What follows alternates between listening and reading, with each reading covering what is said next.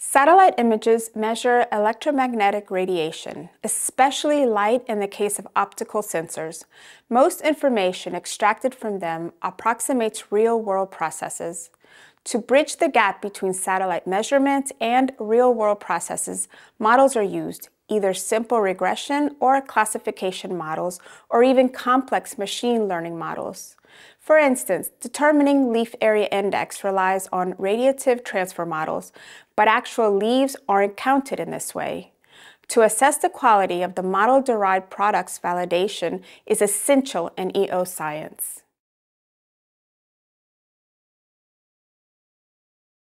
The first step of validation is to collect reference data. Since we are dealing with information across space and time, the samples have to represent this adequately. In a second step, the product derived from satellite data is compared to the reference information. The leaf area index map is compared to field measurements of the leaf area index. Different key performance indicators are used to quantify how well the map describes the reality. This is referred to as map accuracy.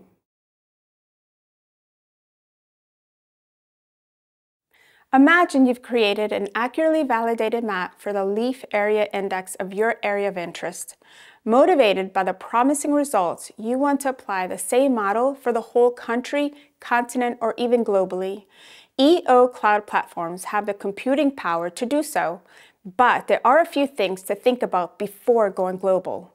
Be aware that users will infer local decisions based on your global map. Your model has been set up for a specific region and is not necessarily valid in other locations. In most cases, reference data is concentrated in Europe and Northern America. This may restrict the applicability of models to regions beyond these focal points.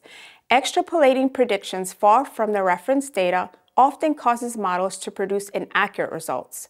Therefore, predictions should be restricted to the model's applicable area, graying out regions where predictor values significantly differ from the training data to prevent misleading conclusions and error propagation.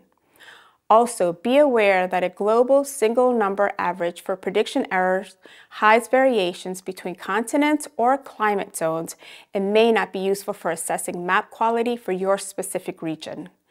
Keep these points in mind before creating large-scale maps. Validating your results correctly and communicating accuracy isn't optional, it's a must.